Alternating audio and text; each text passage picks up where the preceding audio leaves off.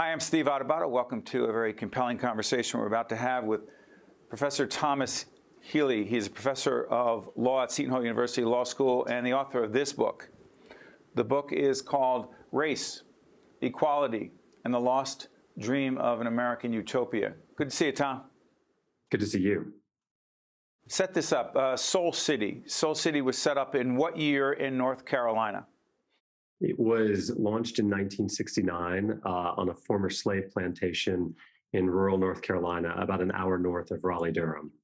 And the whole idea was to create a community that was disproportionately there to support the African American community, to be run by those who are African American, to support economic opportunity uh, for those who are Hispanic, and got funding from the federal government during the Nixon administration, if I'm not mistaken, right?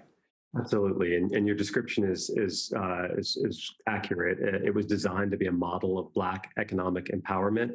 The idea was that uh, African Americans could only have political equality and political independence if they had economic equality and economic independence. So the idea was to create a community uh, where the levers of power would be in the hands of Black people and capital would be in the hands of Black people. And yes, you're right, it, it was supported by the Nixon administration, which was a kind of odd alliance. Sure. Why did it fail? Failed for a number of reasons. I mean, they were attempting to build a city from scratch in the middle of uh, rural North Carolina out of really nothing but but red dirt. Um, they had to they had to bring in everything they needed. They had to bring in the infrastructure. They had to build um, homes in a community. There was uh, no running water. There are a whole range of people that did not have functioning toilets, if you will. Why that location, though? Well, the location had some real advantages. First of all, land was very cheap, and and he uh, the the developer of Soul City, a man named Floyd McKissick, he needed about five thousand acres of land, and he knew he could get it relatively cheaply there. Uh, labor was also cheap, which would be an enticement for industry to come in and build factories there. Um, it was halfway between Raleigh Durham and Richmond. It was a part of what's known as the Piedmont Industrial Corridor. Uh, it was adjacent to um, a major highway, Interstate I 85. It wasn't far from Interstate uh, 95. And there was a, a, railroad that ran right by the property that, uh, that they could use for shipping goods to and from the community. So there were some real obstacles, but there were some real advantages to this site. It's so interesting. People often say, you know, and, and you write about this extensively in Soul City, that it quote failed. Okay, we could say it failed, but there were lessons to be learned from this, this because economic empowerment in the black community remains a critically important theme and challenge. So it failed, yes, but we learned what?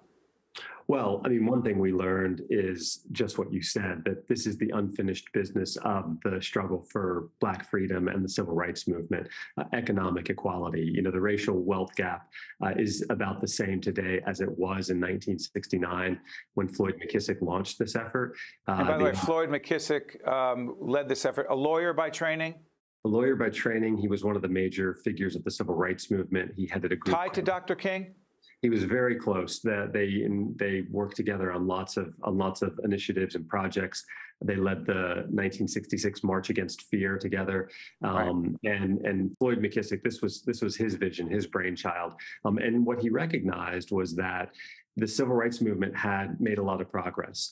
Um, lots of important legislation was passed, and and lots of important cases were won. But the one thing that was not completed was giving African Americans economic independence and economic equality. And, and that's really the unfinished business today. And that's why the the inability of Soul City to reach its its goals, um, I think, is so disappointing and so frustrating. And and I think one of the lessons that we can draw from it um, is that that's something that we need to invest in, and we need to when when people like Floyd McKissick explain what it is that Black people need and what they're trying to accomplish, I think we need to do a better job of listening to that. Real quick, uh, why did and why do you care so much about this? Well, I care about it in part because I'm from North Carolina. Um, there was a newspaper that played a big role in uh, in essentially killing Soul City that I worked for as a young journalist out of college. So I have a kind of personal connection to it, um, but also as a as a law professor, as Uh, I teach constitutional law. I think a lot about equality. Um, you know, this this this is a part of uh, our larger history and trying to um, understand the forces that have that have thwarted racial equality is is really important as for anyone who who cares about uh, who cares about our democracy. Two things. One, this book is being turned into a documentary. Two, let's not, let us not forget that uh, Senator Jesse Helms, uh, Google Senator Jesse Helms, folks, he's extensively written about in this book. North Carolina United States Senator, segregationist, um, by most reasonable standards, a racist in the United States Senate, absolutely dead set against Soul City and wanted it to fail and worked actively for its failure. Correct? Yes, yes, absolutely, and made clear from the very beginning uh, that he was going to try to kill Soul City. In fact, uh, when Floyd McKissick reached out to Jesse Helms in 1972, after Helms was elected to the Senate, uh, Jesse Helms responded and said, essentially, I'm going to do everything I can in my power to kill Soul City. Um, and he did. And, and that's an important part of the story. However, another part of the story is that it wasn't just racists like Jesse Helms that opposed Soul City. A lot of white integrationists opposed Soul City because they didn't understand what he was trying to do. Um, they were saying, let's be together. Let's, what, what are you doing creating? I'm sorry for, again, the book fascinated me so much. It's not my job to, to describe this, but they didn't like the idea of separating. It was like, let's push for integration. That's what all these civil law, rights laws are about. But this was about economic opportunity and not just integrating schools and communities, right? Absolutely. And, and it was not going to be separatist. It was a multiracial uh, project. A quarter of his staff was white. His closest friend and advisor McKissick. on the project, who, who, lived, yeah, McKissick's closest friend and advisor on the project was white. He made clear from the beginning that this community was going to be open to all, but that the primary goal was to benefit uh, Black people, especially the poor and the unemployed.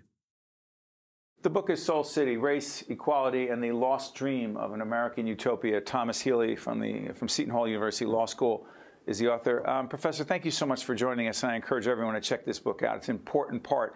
We've been part of a, an ongoing series called Confronting Racism. This is, this book is a piece of a much larger, complex mosaic. Thank you, Tom. Thank you so much for having me. Stay with us. We'll be right back.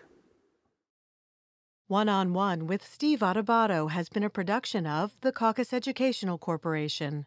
Funding has been provided by Bank of America, Atlantic Health System, the Russell Berrie Foundation, PSE&G, the New Jersey Education Association, the North Ward Center, the Healthcare Foundation of New Jersey, Delta Dental of New Jersey, and by NJ Best, New Jersey's 529 College Savings Plan. Promotional support provided by Meadowlands Chamber and by NJ Biz. How do you create change? By cultivating hope. And we see that every day. In the eyes of our preschoolers, in the souls of the seniors in our Adult Day program, in the minds of the students at Robert Treat Academy, a national blue ribbon school of excellence in the passion of children in our Youth Leadership Development Program, in our commitment to connections at the Center for Autism, and in the heart of our community, the North Ward Center, creating opportunities for equity, education, and growth.